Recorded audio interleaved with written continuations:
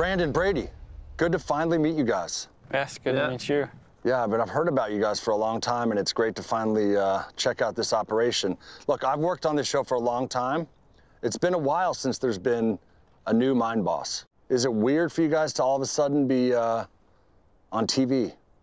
Cameras in your faces all the time. Definitely a change. Yeah, we're trying to get used to it. How long have you guys been actually mining in this valley? I mean, it's it's really been a family operation for a while now, right? Right. Yeah. Yeah. Dad started seven years ago, and uh, he ran for two or three years, and then I started to come up here in the summer, and Brady was helping us out, and then I just kind of took over almost. I mean, you guys have been working, fixing, you know, turning wrenches, right, since you were what, 14, 15? Yeah, some. I'd say about like that. And before that, mom and dad would always bring us to the shop just to clean garbages or something, Yeah, like I get mean- us out of the house.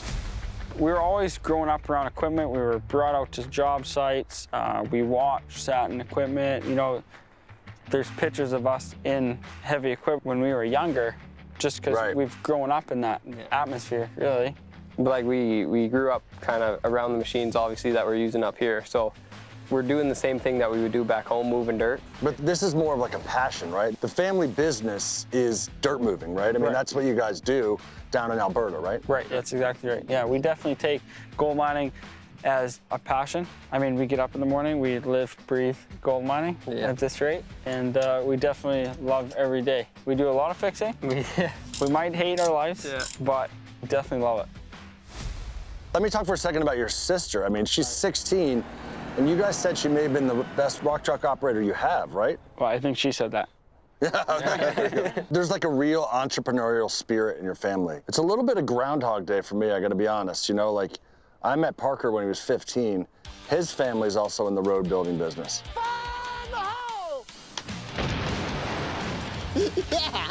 Our grandpa originally started the family business, which basically sparked dad's interest. He got into the family business at a, such a young age as well. Yeah.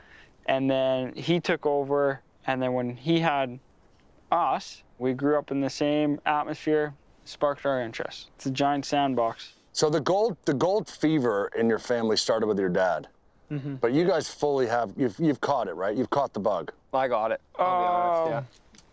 I Yeah. He has it. He'll. I'll answer for him. What about seeing that gold, Brady, gets you so excited? I don't know. I, it's just something about gold. Seeing it in the sluice box, seeing it on the wave table, whatever. You just get greedy and you want more. One, two, three. i think it's like because we work our ass off all day to make sure that we get that goal in the box and when we see it in the box it's definitely like okay our efforts are actually paying It's tangible. off. yeah this is why we're up here It's a good, good feeling of like, uh, kind of achievement. Like you know that your work is actually getting somewhere. Right. It's hard to describe to people how different top of the world is here than down in Dawson and the goldfields. Why choose this spot? It's super hard mining. It's more complicated. It's more of a treasure hunt here than it is down there, right? virgin ground. It's coarse gold. Over there, the- you know, there's tons of neighbors. Everybody, Tom, Dick, and Harry's all over, Yeah. right? There, over here, there's a fraction of the miners. Yeah. It has its challenges, obviously. You've seen the road in here, right? I mean, you guys are basically, this is more of like mining on the side of a mountain. I mean, Between it's- between two mountains, yeah. Yeah, I mean, tight. I think you have, what, six people here? Yeah. But you were nice enough to give me a little tour and uh, to show me this operation. You guys have a nice little setup. Hello, Brandon. sir. How are you? Welcome to the camp. Well, thanks for having me. Uh, first of all, that road is no joke. No, I mean, getting here is no joke. right. Now let's see your let's see your trailer. Oh, see where- boy. how you guys live. It's a strict no shoes policy. Strict no in shoe these. policy, yeah. It's a little bit embarrassing how clean I am and how dirty you are. Oh, no. You look good, though. so when you're done working, you don't want to wear this stuff around here, right? Yeah, that's right. Get into clean clothes. PJs, And there's lots of chilling right here. chilling. Click the TV on. Yeah, I mean this is really nice setup. I'd sit on my couches, but I'm a little dirty. This is the sleeping. You didn't make your bed for us, but no, No, but look at your no. bathroom. Yeah, no, the bathroom's nice. Jesus, this bathroom's like bigger than mine at home. Yeah, yeah. It's the biggest shower I've ever seen, and it has skylight. And your brother has the same setup? A little bit different, and he's his trailer's just next door. Wow. All right, let's see the rest of the camp, can we? Okay, yeah, let's do her. So Brandon, I gotta, I gotta know what's in this thing. Super random. I did not expect to see a Safeway truck here. it's not full of groceries this one.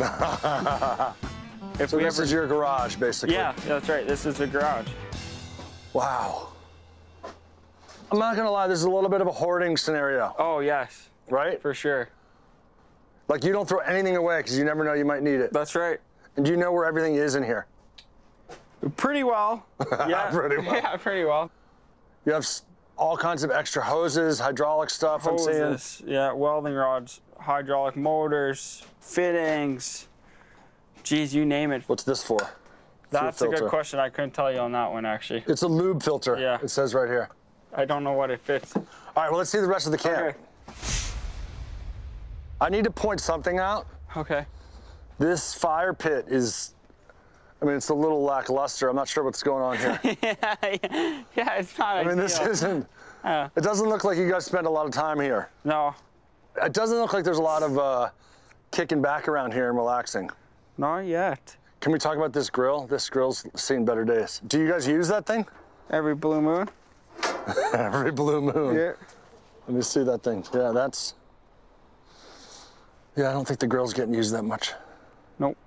All right, let's see where you guys eat. Okay. This looks like. Go uh, in the other door here. okay. This one's got no knob. This one's got no knob.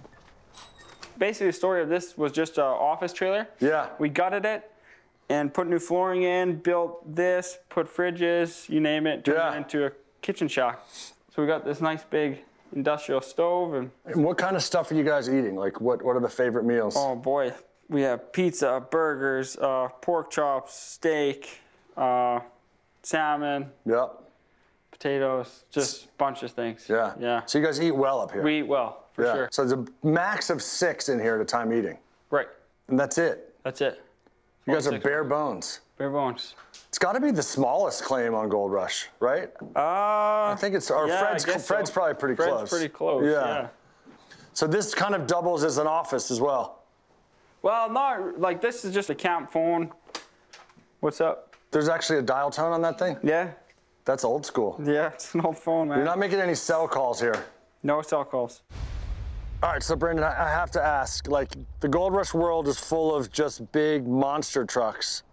How in the hell do you get like a sedan here? Well, Warren bought this last winter, and uh, it got down here, but now it isn't getting out Because why? because he lost his key fob, and the only way to get a new one is to take it to the dealership. So where's the closest dealer?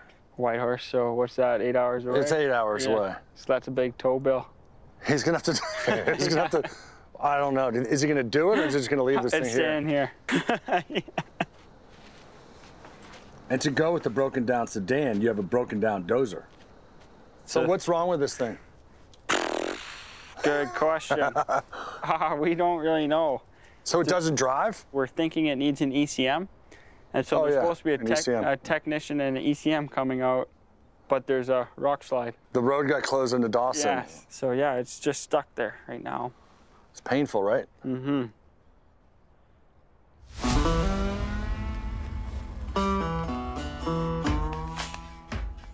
This is a fancy operation here.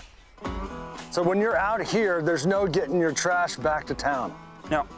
Like that's just not gonna ever happen. So Nope. you had to get a uh, trash burning permit. Right.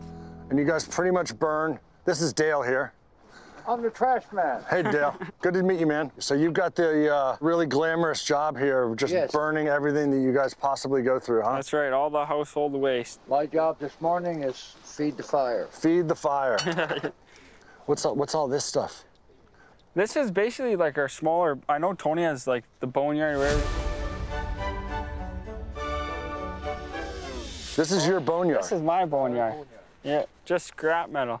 If we think we need a, anything that'll work, pins, you name it. Right, so you can cut stuff up and make it work. That's right. You're not you're not old enough to know MacGyver, are you? I uh yeah, kind of.